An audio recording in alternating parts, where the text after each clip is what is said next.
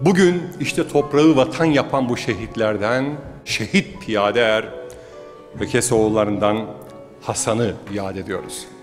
Hasan, yiğitler diyarı Kırşehir'in İnli Murat köyünde merhaba dedi kısa hayatına. Kısa hayatına özellikle kullanıyorum bu cümleyi. Yaşı 20'den ziyade olanlar aramızda var değil mi?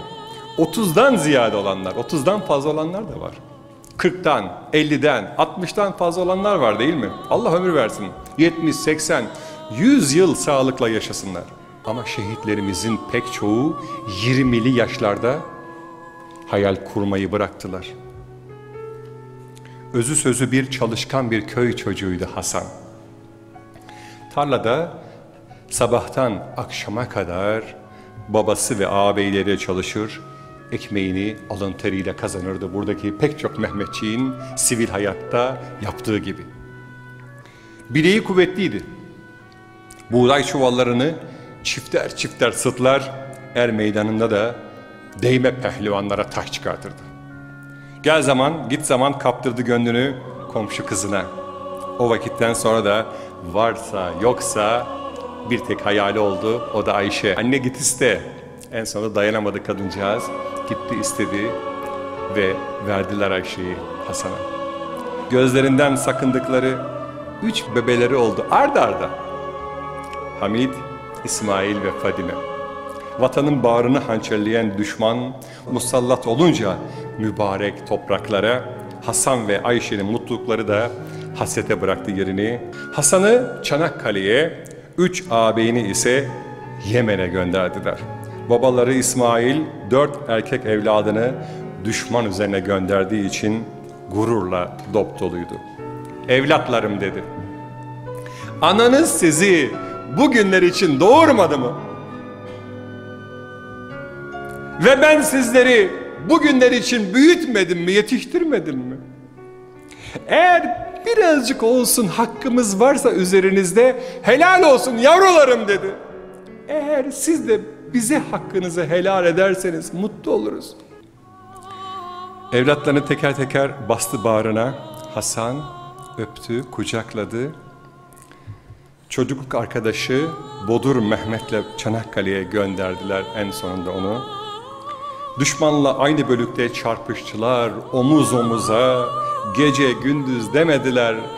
Birbirlerine kattılar. Hasan'ın kader ortağı olmuştu Mehmet. İkisinin de ardında hasretle bekleyenleri, gözyaşı dökenleri ve gözleyenleri vardı.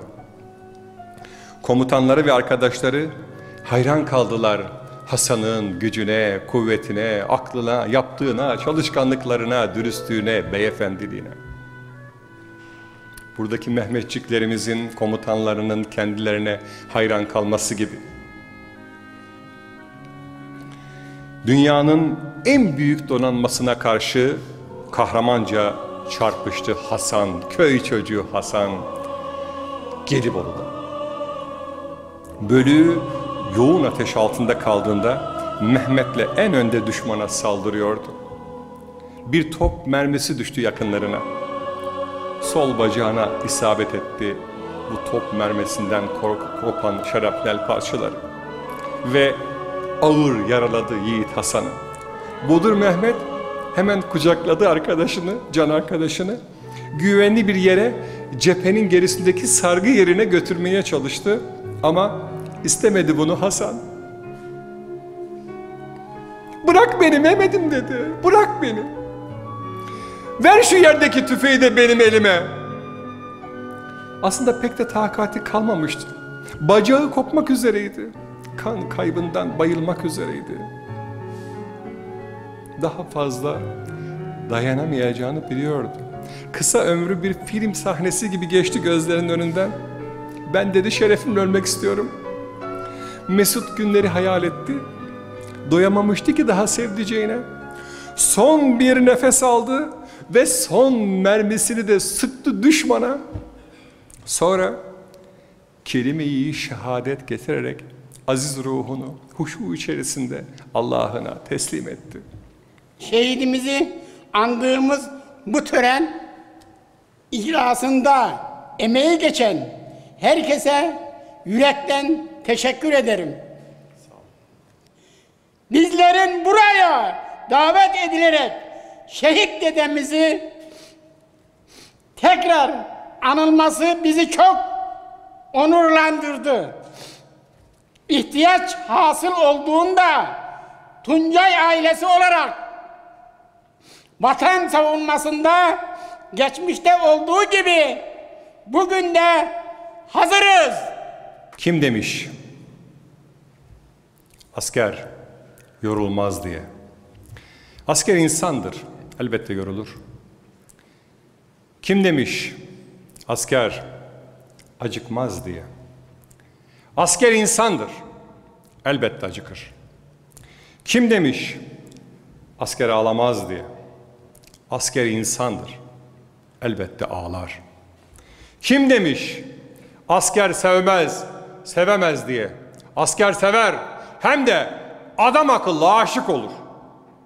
Yalnız bir şey yapmaz asker. Yalnız bir şey yapamaz. Asker ölmez, öldürülemez. Çiçek olur, dağlarda açar. Şehit olur, yüreklerde yaşar. Etkinliğimiz sona ermiştir. Arz ederim. Dün gazetede gördüm böyle bir program olduğunu. Ee, gelmek istedim. Ee, çok güzel hazırlanmış programda. Çok duygulandık.